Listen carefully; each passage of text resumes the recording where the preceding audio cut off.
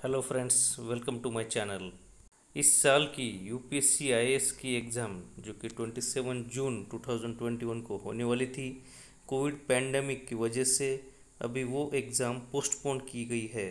आज यूपीएससी की वेबसाइट पर इस पर ऑफिशियल नोट नोटिफिकेशन जारी किया गया। अब यह एग्ज़ाम 10 अक्टूबर 2021 को होने वाली है। जैसे कि एग्ज़ाम की डेट अभी 10 अक्टूबर डिक्लेयर की गई है। अभी स्ट्रैटेजी में थोड़ा चेंज करते हुए प्रीलिम्स को फोकस ना करते हुए अपना ऑप्शनल इथिक्स और एस्से की प्रैक्टिस में ज़्यादा से ज़्यादा समय व्यतीत करना चाहिए। अब बेस्ट स्ट्रैटेजी तो यही रहेगी कि जैसे ही 15 अगस्त या मिड ऑफ़ अगस्त के बाद प्रीलिम्स पे ज़्यादा फोकस किया जाए। Thank you for watching my video. Please like, share and subscribe to my channel.